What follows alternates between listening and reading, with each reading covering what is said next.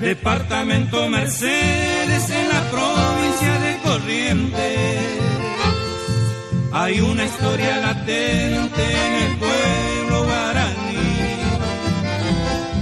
Cuentan la gente que allí vivió un criollo campesino, gaucho bien correntino y se llamaba Antonio Gil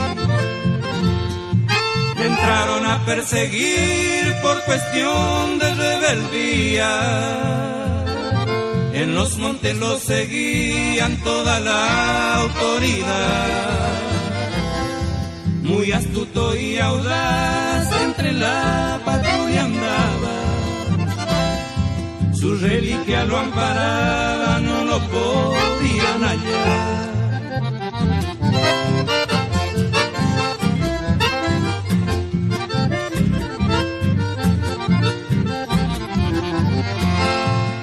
trágico 8 de enero después de San Baltasar.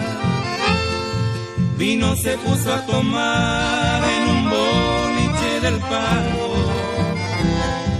Allí mismo fue rodeado y sin defensa que el valiente se entregó mansamente al sentirse traicionado y en posición tortuosa colgado de un espinillo. El rastreador que era un indio ejecutó su sentencia, usando el propio facón del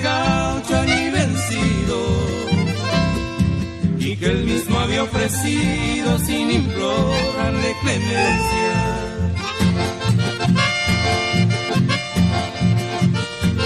y a una legua de Mercedes, en un colorido templete, les rinden humildemente sagrada veneración, le ofrendan música y canto con banderas coloradas, la gente de todos lados que van llegando en procesión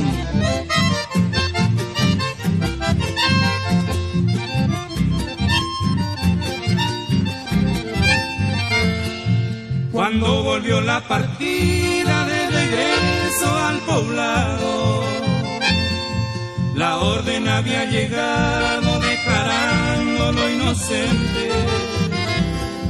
Fue así que injustamente cayó en su fatal destino. Este gaucho correntino muy